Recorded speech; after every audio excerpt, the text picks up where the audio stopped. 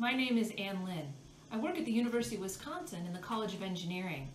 Today we're going to talk about how scientists and engineers who work with really, really small things like DNA or viruses or atoms can measure very small amounts of things.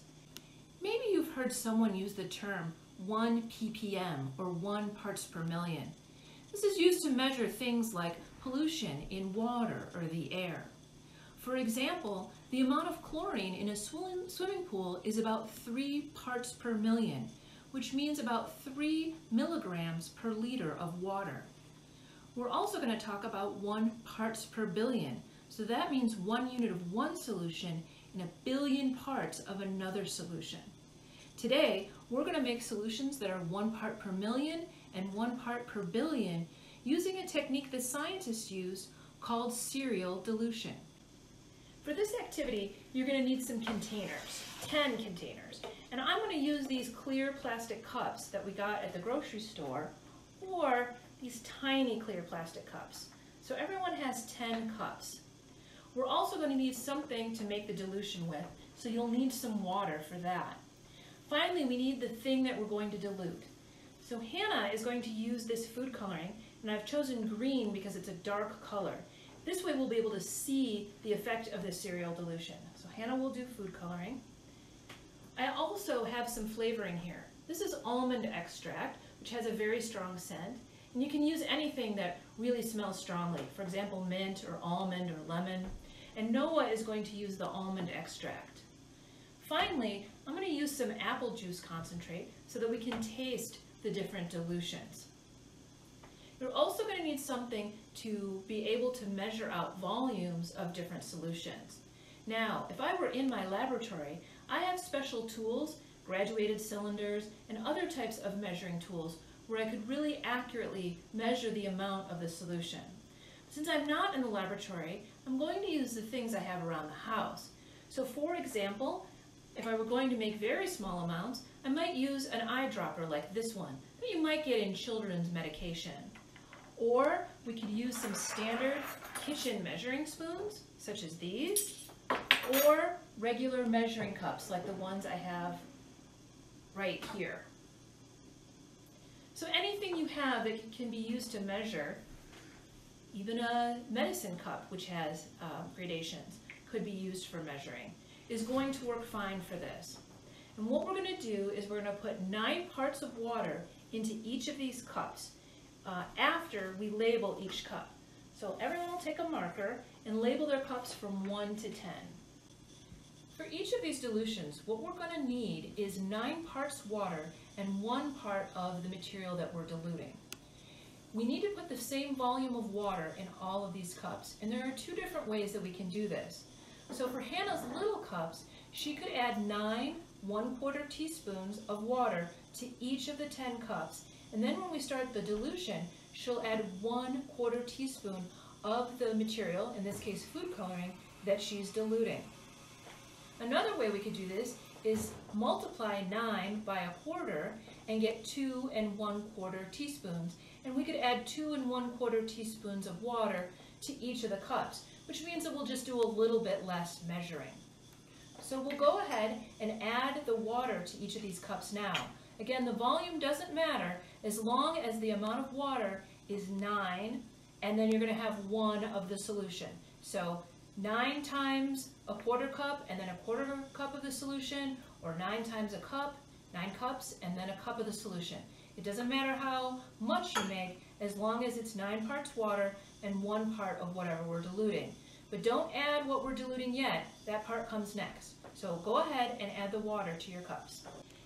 After you've added water to all of the cups, you're going to want to take a look and make sure that the water level looks approximately the same, especially if you chose to do nine individual measurements. Now we can use our eyes to look at the water level, but it won't work if we look down like this. So what we're going to do is we're going to get out of our seats and make sure that our eye is aligned with the water level in the cup. So if you look at all the cups, yeah, the water level looks pretty good in mine. Now we're ready to start our dilutions. What you're gonna do is take the liquid that you're diluting, so apple juice almond extract and the food coloring, and you're gonna get one measuring spoon of that. So I use tablespoons, I'll get a tablespoon of that. Hannah, what did you use? A quarter teaspoon. All right, so Hannah's gonna use a quarter teaspoon of food coloring, and Noah? Also a quarter teaspoon. Noah's gonna add a quarter teaspoon of almond extract. And we're gonna add this to cup number one. So go ahead and do that. And then stir it up. So now, what we're gonna do next is we're gonna take one tablespoon in my case, quarter teaspoon, quarter teaspoon, of the solution in cup one and add it to cup two. So one measuring unit out of cup one. And, oh, glad I labeled these because they got mixed up. Pour mine into cup two and stir. Yep. Great. Then you're going to take one measured unit, again tablespoon in my case, out of cup two and add it to cup three.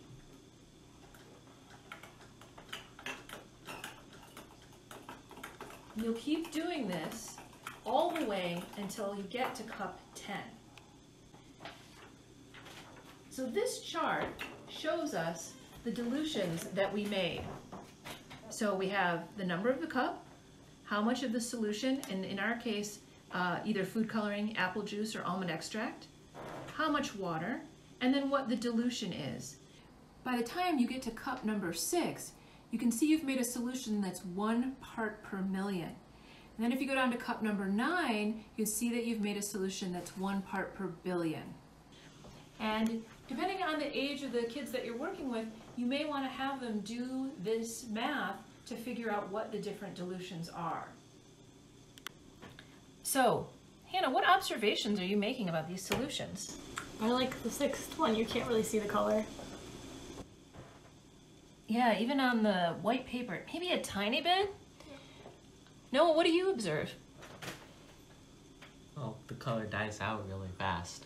Yeah, it's interesting to me that cup number one, which is a 1 to 10 dilution, and then cup number two, which is a 1 to 100 dilution, they don't really have much difference in how they look, do they? Yeah.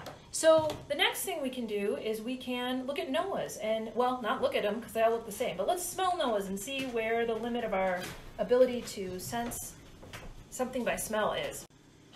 Now for Noah's, since we're gonna try to smell the solution in each of these, we need to start with the most dilute because if we start with the mo the least dilute, then everything is gonna smell to us. All right, so you smell first since it's yours. Can you smell anything in that? Not really. No, me neither. Okay, just keep going.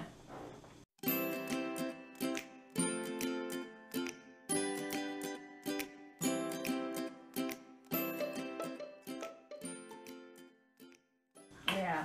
So uh, we think maybe we could smell it in four, but you couldn't. So that's interesting to me that for the color, we couldn't see it after five or six, but for the scent, we couldn't see it after three or four. Smell it. Smell it, sorry. We couldn't see it at any of them, but we couldn't smell it after three or four. So this next one is taste. It tastes like water. I appreciate your tasting. Oh, I know I can taste apple juice in that. Oh, Definitely apple juice in that. yeah. This one might be really sweet because it's not the correct. So you can try uh, many different things. If you want to try something with a stronger flavor, maybe you try hot sauce. Just be careful as you get to number one. Uh, mint extract might have a strong smell, so you might be able to smell it in the more dilute solutions. This is how scientists dilute things down to very, very small amounts. Thanks for joining us and check the comments for a copy of the worksheet.